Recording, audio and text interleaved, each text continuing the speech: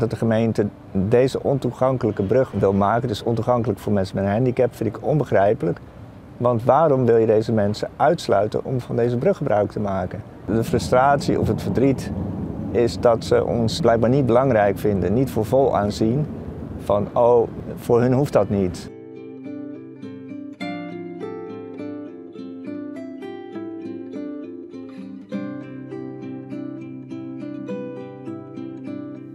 Als CDA gaan we samen met de SP hebben we een motie geschreven waarin we zeggen als deze brug niet noodzakelijk is, dan hoeft hij er ook niet te komen. Wij hopen dat deze motie uiteindelijk een, een steun krijgt van meerdere partijen en dat daarmee uh, de brug er dan niet komt en we dat geld kunnen besteden aan het toegankelijk maken van dit gebied. Zodat er een mooie wandelroute komt en we echt van dit gebied met z'n allen kunnen genieten. Ik vind het heel fijn dat ze voor ons opkomen.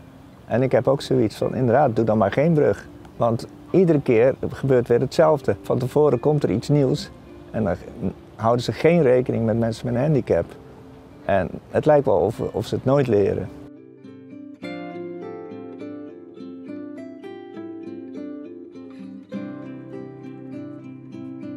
Dat vind ik heel treurig.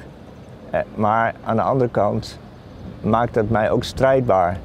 Want wij moeten opkomen voor onze rechten en dat we ook wij gebruik kunnen maken van deze voorziening. En dat doen we bij deze.